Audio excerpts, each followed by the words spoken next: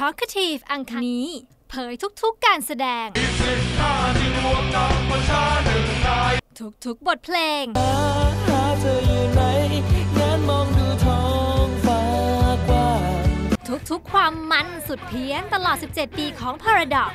เราเคยไปเล่นครั้งหนึ่งแล้วแล้วเขาเก็บเงินค่าตั๋วแพงครับปรากฏว่าไม่มีใครดูเลยครับ หน้ามีแต่หมาเดิน เดินมาฮะนอนนอนเล่นอยู่ตัวหนึ่งเด็กเนี่ยฟังเพลง Paradox ตั้งแต่เด็กเรียนจนโตมาเป็นยังไงฮะก็คงจะเพี้ยนเพี้ยนๆไปแถมงานนี้ดูดีมีรางวัลกับของรางวัลสุดฮิปพร้อมลายเซ็นจากตา Paradox เผื่อน้องๆ สนใจก็ลองชิงรางวัลกันดูนะครับ เป็นอัลบั้ม Limited Box Set Paradox นะครับ ห้ามพลาดในรายการเขย่าจอ 2 ทุ่มตรงทางสถานีอำพลฟู้ดซูเปอร์บันเทิง